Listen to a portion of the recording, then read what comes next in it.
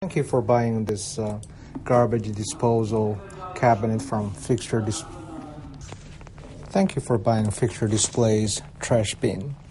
These are all the parts. You want to identify them first before you get started. You have the side panel, which have a rounded corner on one side, and this is the other side panel. And then you have the back panel.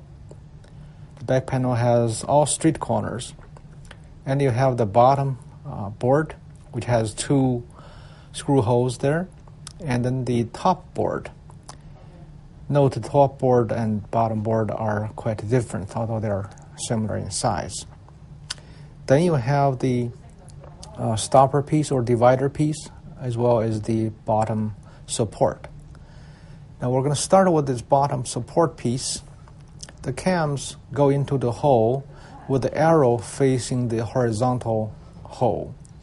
And the stamps simply can be inserted and then tightened with a screwdriver. To speed things up, uh, you could uh, get all the stamps inserted first. Now we are going to start to assemble the top panel into the backboard.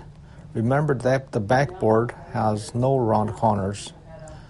And you insert the top panel leaving uh, inserted smoothly, and then you tighten that with a screwdriver. You do not want to over tighten, just enough to so is is held tight. Now make sure the edge banded piece face out. Here is the bottom support. You want to insert that into the two stamps.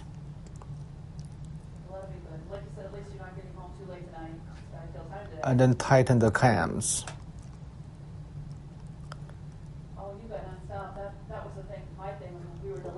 Now to marry up with the back panel, you want to flip this so the support piece will be touching the ground.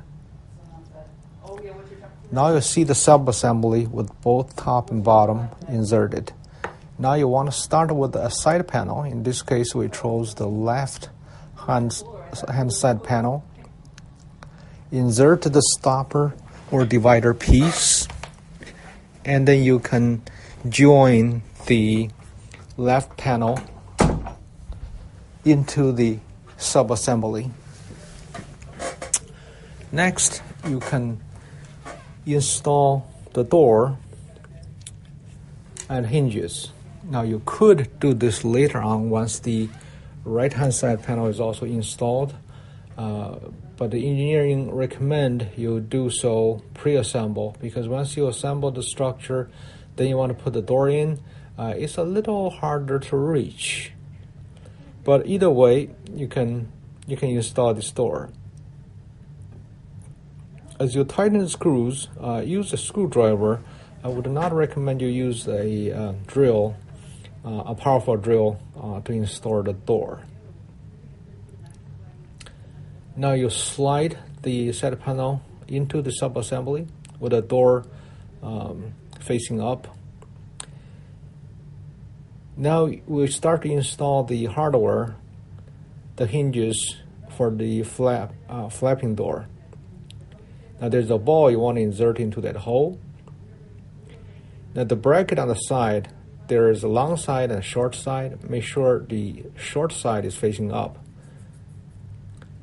Now when you do the other side, you want to insert the ball and then the bracket and then take your time. You will need the assistance of another pair of hands to hold it while you tighten the screw. You can tighten uh, one screw on top first and then work on the other um, once your door is up. So basically push it up and then finish your final screw. We want to thank you for shopping Fixture Displays. If you have any questions, please contact us at cs at fixturedisplays.com. It is Charlie Sam at fixturedisplays.com.